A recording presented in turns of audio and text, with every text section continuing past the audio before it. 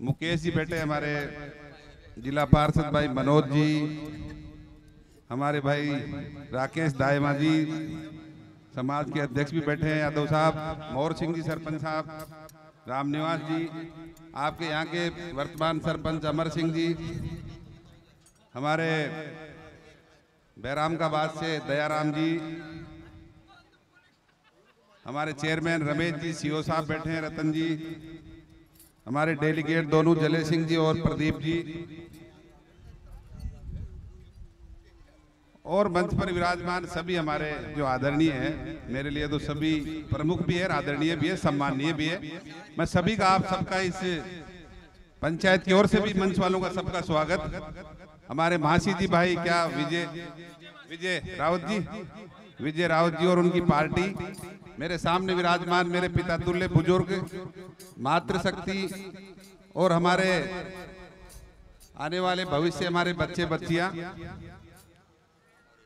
पूरे ही बानसुर में लगभग लगभग ये परंपरा है, ये जो मेले भरते हैं या कोई प्राण प्रतिष्ठा होती है तो समाज के सभी समाजों के लोग एक साथ एक जाजम पे बैठते हैं इकट्ठे होते हैं।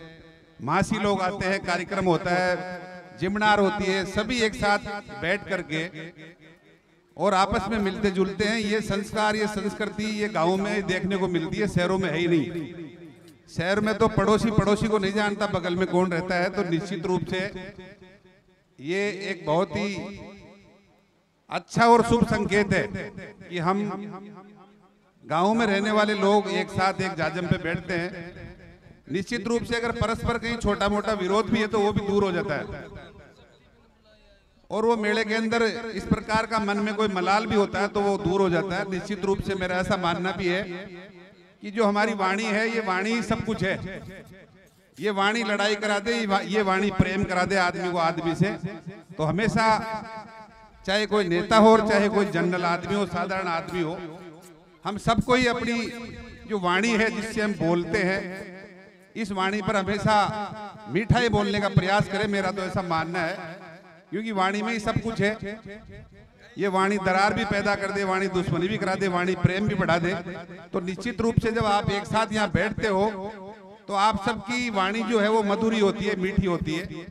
और निश्चित रूप से मेरे ऊपर तो इस पंचायत का बहुत बड़ा वैसे ही आशीर्वाद रहा है निश्चित रूप से। हालाँकि ये राजनीति का मंच नहीं, एक धार्मिक कार्यक्रम है। लेकिन फिर भी बालास पंचायत रतनपुरा गाँव और इन सबने मुझे बहुत बड़ा आशीर्वाद दिया था। 2018 में वो ऋण तो मैं आपका कभी चुका ही नहीं सकता। लेकिन कभी समय आने पर मैं आपको विश्वास दिलाता हूँ, इस मंच के माध्यम से आपने जो मुझे साफा पकड़ी बंधाया है, इसका ब्याज सहित आपका ऋण उतारने का कोशिश करूँगा, ये मैं आपको कह सकता हूँ। हालाँकि समय का किसने देखा, आगे क्या होगा, लेकिन फिर भी ये ईश्वर से मेरी प्रार्थना है कि मुझे अवश्य आपका, आपकी सेवा करने का अवसर मिले। क्योंकि आदमी को आशावादी रहना चाहिए, हमेशा निराशावादी आदमी कभी कामयाब भी नहीं होते तो निश्चित रूप से आज मंच पर बैठे सभी लोगों का सरपंच साहब और आप सब गाँव वालों ने स्वागत किया, सत्कार किया। उसके लिए भी बहुत बहुत आपको शुभकामनाएँ, धन्यवाद। एक छोटा सा इक्यावन सौ रुपए की राशि मेरी तरफ़ से भी भैया, मंदिर के खाते में कर देना, क्योंकि धर्म की जड़ हमेशा हरी है और भगवान के नाम पे दो पैसे कहीं खर्च होते हैं तो मैं तो सौभाग्यशाली मानता हूँ कि अपने से कहीं न कहीं पुण्य का इतना सा भी काम हो तो अवश्य करना चाहिए। बहुत बहुत धन्यवाद। पाँच सौ रुपए हमारे विजय मासी जी को भी। आप सबने स्वागत सत्कार किया इसके लिए।